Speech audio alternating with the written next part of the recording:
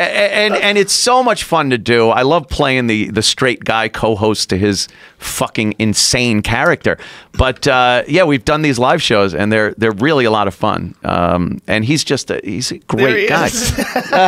there he is. The Yeah. fucking outfit. oh my god. It's so ridiculous.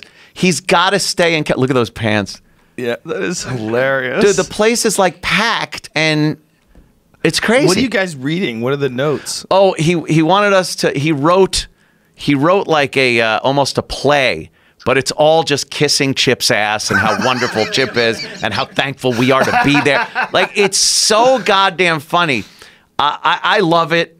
He's uh, he's brilliant, man. He's he's just a great guy and very fucking funny. I knew from the first. I think that also uh, kind of. I'm not blaming Jimmy or anything, but I think that helped to kind of break up the O and A show in time. I think Opie started resenting a little bit of that camaraderie that me and Jimmy were having. Um, me and Jimmy kind of slowly started pulling away and doing our own thing. Like it was, Right. and and the humor is, you know, the the more twisted, the better.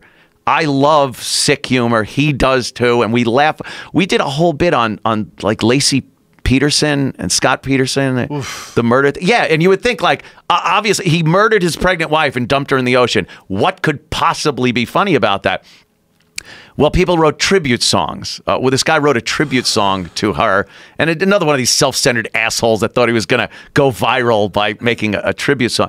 And it, it- we started changing the words to the song to make it just horrible, involving seaweed and, and things. like So it was terrible. But me and Jim are literally crying, laughing, and Opie's just kind of sitting there, like not really able to jump in or not kind of getting why we're laughing at this sick shit. Uh, so it, it, kind of pushed us further apart. Um, at that point, yeah, Uh, we we both as people changed over the course of uh, the twenty years we worked together. Twenty fucking years with anybody, dude, Yeah. is is nuts. You get a girl that suck your dick every day for 20 years, you're going to be like, oh, fuck, stop sucking my dick. But, but now it's, think it's Opie across from me, you know? Yeah. Uh, so you're going to get on each other's nerves. And I, I'm not innocent in the whole thing either. Uh, but I was, I'm a lot more laid back. Like I, I knew what real work was. I worked for fucking living. I did heating and air conditioning installation, and it was freezing cold in the winter and boiling hot in the summer. And uh, when I got that first gig in radio, because of Opie, I'll always thank him for that. Uh, I knew what it was like to work, and I didn't want to fuck that up. So I plastered a smile on my face at every turn and did the show four hours a day. Everyone has someone at work that they don't get along with. You don't leave. You don't fucking, you know, you just deal with it. And that's eight hours. I had another 20 hours of the day that didn't involve Greg Opie Hughes. So I could deal with it. Uh, he was more like he had to express himself a little more, which you know, I guess is healthy in a way, but uh, I didn't need to. So I didn't I didn't text him. I didn't call him. I uh, he we got in an argument once and he goes, "Dude, you never even been to my house." And I go, "All right, get everyone from the show in here. Jim, have I ever been to the house? Nope. Travis, no. Sam, no. E-Rock, no. I've never been to anyone's house. Let me tell you something right now. yeah. That's something a chick would say. I know Have you that ever been was to my house? Dude, it's exactly You've never even that. been to my house. type of okay. What does that mean? We What never does it been to even mean? moon. I've never been to Africa. What- What the fuck are you saying? I've never been to Spain. What does that have to do with anything that we? If if you had a problem with me not coming to your house, why didn't you ask me to come to your house? Yeah. Like, is there like uh, you asking me every day and I'm saying no every day? And I was saying no, right, right. what's going on? it, it was always something like that. And believe me, I'm not going to sit here and shit on the guy. I, I that my show's for that. Uh, I'm not going to. I'm fucking around. Uh, I'm not going to shit on the guy. But there were definitely personality quirks that I guess we both had. But there was something like if if I. I, I would party all the time and, and you know I had to be there at 6 a.m. and I'm driving from Roslyn, Long Island to New York City. It's it's 25, 30 miles of just fucked traffic every day. How he long did it take you to get there? it, it could be 35 minutes it could be an hour and a half based on if someone's pulled over on the side of the road some asshole crashes in queens whatever it was it was uh It was a shit drive every day. And you had to be there at six, right? Six o'clock, the show started. And so even at six, there'd be that kind of traffic. Yeah, yeah. There's. It wasn't as bad as it got at like seven or eight, but it, you never really knew. Right. It could. It could. I was never late, late, but there were times I'd come in at five after. Uh, eight after six was pretty much as late as I would I would be. It was never more than that. But he would go like he never had to say anything. Like the music starts, there's a little uh, uh, bumper at the beginning, and by the time it starts, I'd, I'd sit down, and he on mic would go, um, "Well, I guess there was traffic. Anthony just getting in, and now the bosses are listening." And it was it just wasn't necessary to do that.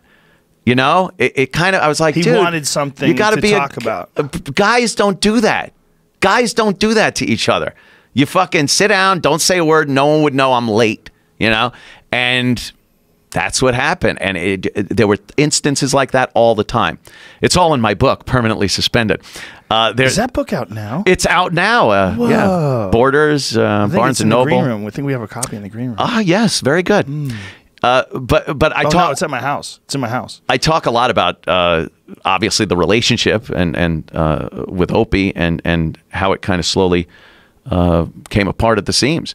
Um, I think toward the end, uh, he just had had it. He didn't want to do a show with with me anymore. I I don't think he wanted to do a show with Jimmy either. That didn't last long, and I knew it wasn't going to last long. That Yeah. they. I was the buffer between the two of them. That ended bad. It really did. it Yeah. really did. Uh, like if you talk to Jimmy about it, like yeah, yeah. like he he doesn't he doesn't express that kind of No. Yeah. No, he doesn't. Like J- Jimmy's a very loyalty driven guy. Uh, like, like he takes that very seriously. And if he feels somebody's fucking with him, he really gets pissed. Uh, usually it can get talked out and everything's cool after a little while. Uh, but this one, oof, uh, this this is bad. it didn't work. Yeah, but No, you know, no.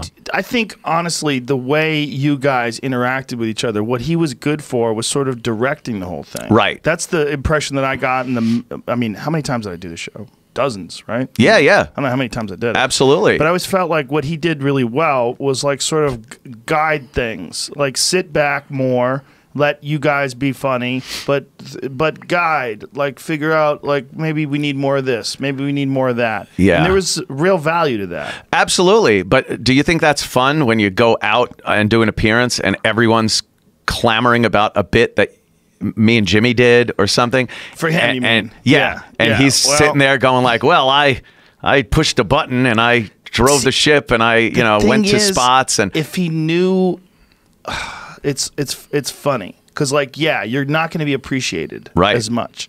But it's like a guy who uh, is good at defense, but he doesn't score a lot of points. yeah, yeah. Yeah, you're not going to be LeBron James. It's necessary. Guys who score the points, though, are the ones who everybody wants to talk to. You, you know? Yeah. You ever see? Uh, I, I I think of Opie like um. You ever see the Prestige, the movie The Prestige, uh, with the the two magicians? No. and, and st- it, it, it's it's a good think so. movie. It's a good movie. But at one point, uh, because he has to use a body double, uh, the actual magician has to drop below the stage, and the body double comes out and gets all the applause. And he's under the stage. The real guy that did the whole act is under the stage, and he shuts his eyes and puts his arms out like trying to enjoy the adulation from the fans, but it's not even him getting it. And, and I think that kind of mindset was there. There's, and, and then resentment starts bubbling up, and you start doing things like saying, Anthony just got in. Um, you you hold things over people's heads. Uh, the contract negotiations were a nightmare every time, and Opie always wanted a one year deal. I'm like, what the fuck are you doing? Let's sign for ten years. Who gives a shit? You know, if they want to fire you, they're going to fire you anyway, contract or not. But let's lock them in. So if something happens, at least we have a, a, a settlement portion. We could take half the, the what they owe us for five years, whatever it is. Not one year deal. That's all I want because he always had this delusion of grandeur, like there was always something better waiting uh, for us to grab up. And it's like the truth of the matter was the the glory years of the O and A show were gone. The NEW years and the you know all that crazy fucking radio. We were damaged goods after the sex in St. Patrick's Cathedral debacle. We